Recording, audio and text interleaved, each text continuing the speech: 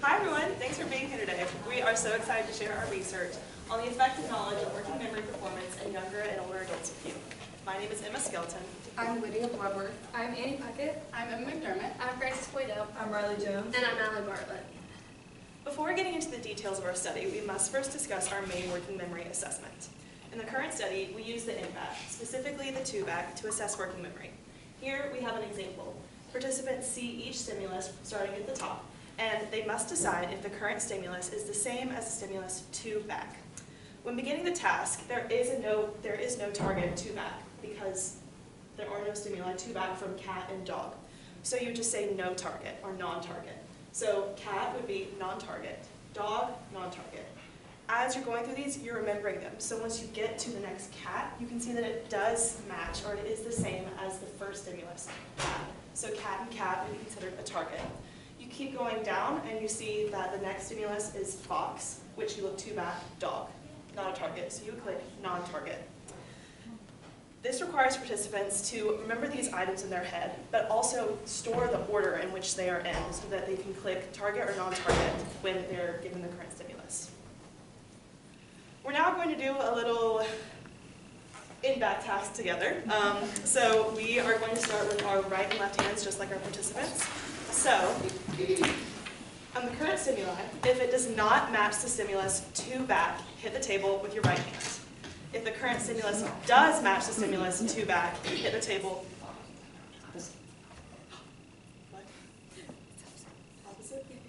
Oh, left hand. Okay, sorry, sorry. Okay, so if it, if it does match right hand, if it doesn't match left hand, sorry. Okay, we're going to be starting with words, and remember that the first two stimuli do not have a two-back match. Are you ready?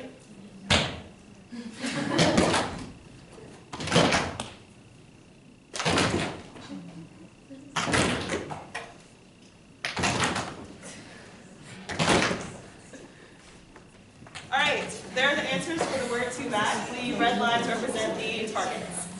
Now we're going to do something a little bit more difficult with abstract figures.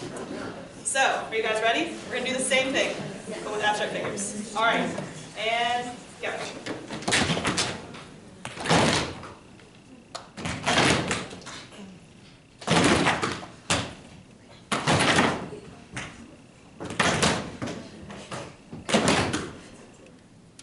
All right. Ah, got him And that there are the answers for our abstract figures. We're now going to be looking at the specific details of our study. Our study examined working memory, which is the temporary maintenance and simultaneous processing of information. We are constantly using our working memory um, for every cognitive task we do. A good example of this would be mentally calculating a tip in a restaurant. You hold the digits in your mind and do the math at the same time. Other examples could be driving a car and even understanding what I'm saying right now. Um, we based our research on Cowan and Oberauer's um, model of working memory. Information is held briefly in the focus of attention, and then it remains in activated long-term memory um, for quick access.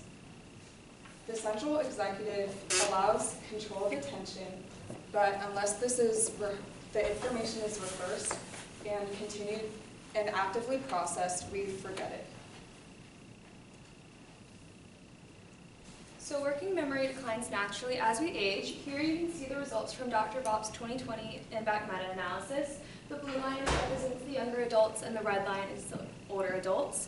Um, and as you can see, the biggest age difference in accuracy is going from a one-back task to a two-back task. Among the many theories that, um, that are about why older adults' working memories are worse, processing speed and binding were the most important to our study. So older adults process information slower, which means that it takes longer for them to encode the information, which is very important to an N-back task.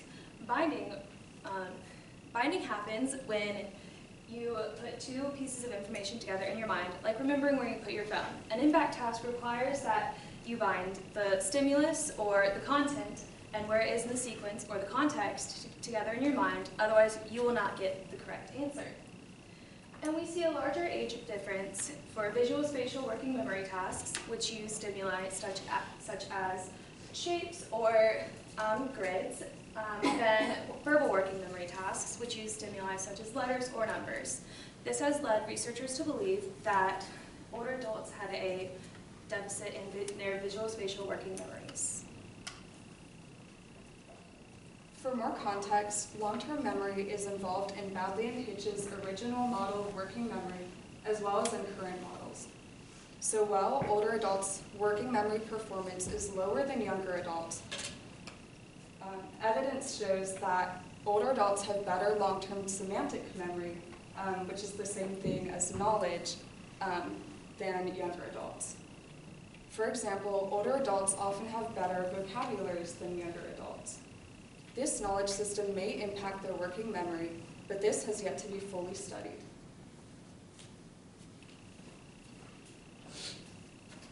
Um, so to examine the effect of semantic um, long-term memory or um, knowledge on the N-back task, we um, implemented, or we used three types of stimuli um, on the two-back task.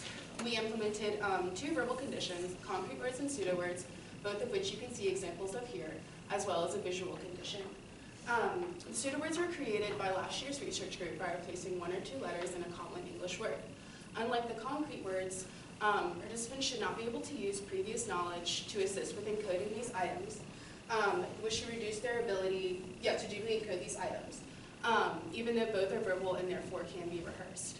Um, we can also think of concrete words as being assisted by um, knowledge.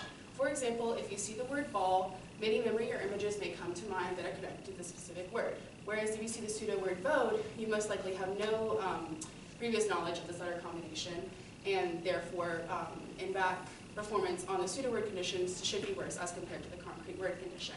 Um, we also implemented a visual condition utilizing the need abstract figures as seen on the bottom of the stream. Um, the, like pseudo words, these figures are also enameable and therefore should be um, more difficult to complete, um, and one cannot clearly use knowledge on these figures. Um, so our main research question for the semester was, does knowledge aid older adults more than younger adults in the N-back task? Um, we hypothesized to find the smallest age differences on the concrete word condition um, as compared to other conditions due to older adults not being able to use their knowledge to assist in encoding. Um, we also hypothesized further that the largest age differences should be found in the abstract figure condition um, because in addition to not being able to use previous knowledge, um, this also requires a visual. This is a task that requires visual working memory.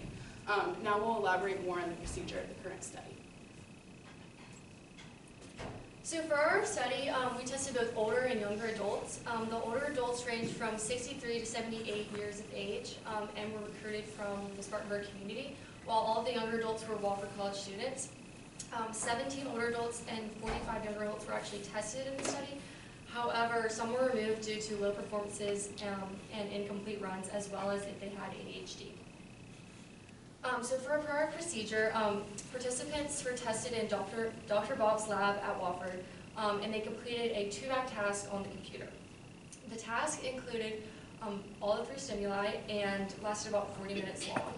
Um, in addition, participants also took two tests which help measure knowledge, as well as describe to us the strategies that they use to help with the N-back. Now, moving on to results. The N-back can be looked at in terms of accuracy and response time. For the sake of time in this presentation, I'm only going to talk about accuracy, but if you're interested or curious about response time, we can cover that a little bit later. As you can see on the y-axis, accuracy is being measured. Accuracy is the proportion of correct responses to target trials, or also known as hits.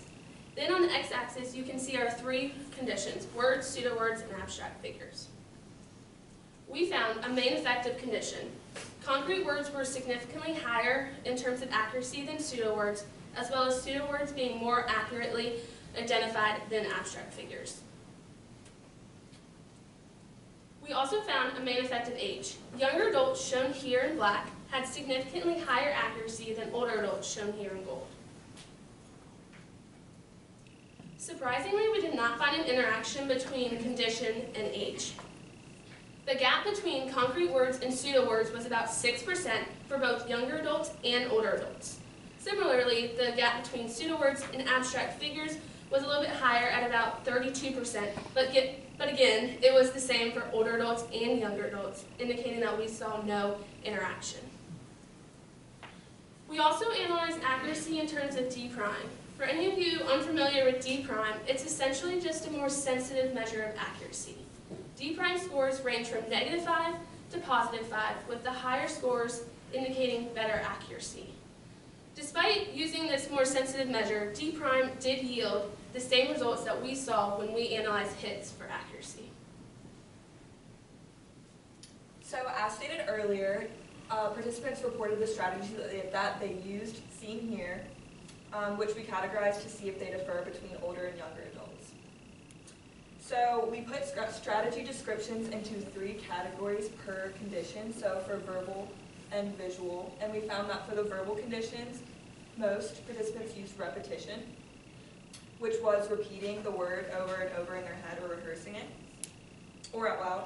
And then for abstract figures, we found two major strategies, one of these being characterization, um, which we called when they looked at unique features of the figures, like points and indentions, to try to make them unique.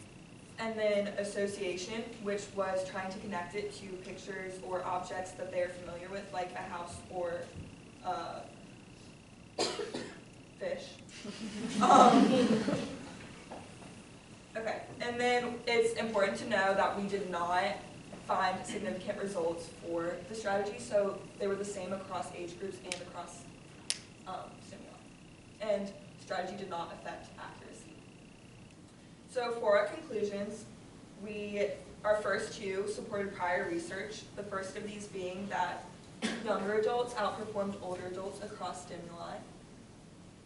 And the second of these being that verbal stimuli were easier for participants than visual stimuli, so the accuracy was higher for words than abstract figures and then pseudo words to abstract figures. The most important finding that we found um, is that the effect as the effect of knowledge on working memory. So we're among the first studies to find evidence that semantic knowledge does assist in working memory tasks. Um, long-term memory is a part of working memory theory, but its influence is rarely studied. So one interpretation of this is that knowledge in concrete word conditions permits dual coding.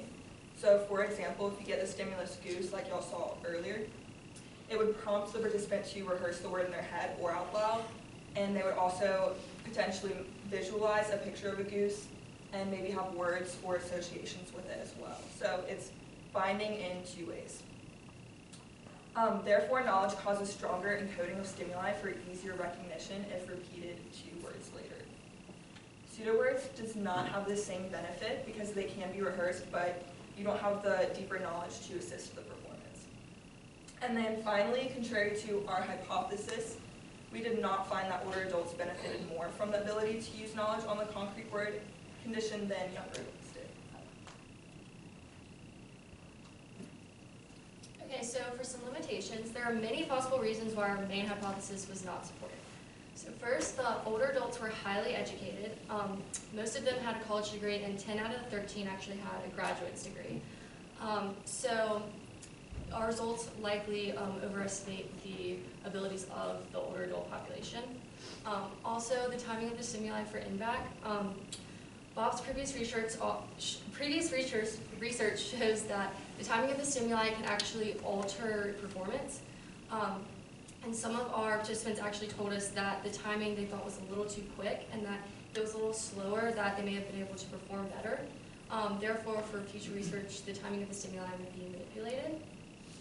And then lastly, um, Bopp would like to add one more condition to this study.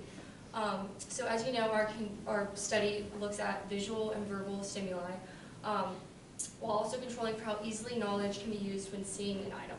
However, to complete this matrix, we need to add nameable objects. So for example, an apple, a line drawing of an apple, um, this would provide a visual condition with the ability to use prior knowledge to assist the performance in the N-back. Um, while previous knowledge has shown that there is a larger age differences in visual working memory, um, it is possible that semantic knowledge could reduce this gap. Um, special thank you to our older adults who participated because it was a little difficult to find them, and thank you for listening.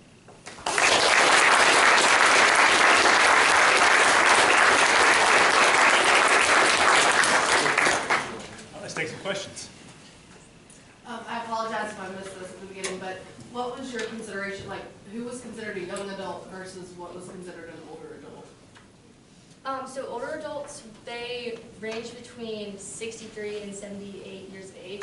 And then the younger adults were all Wofford College students, so it really could be anywhere from a freshman to a senior, but it was mainly um, younger. So those can be combined. Yeah.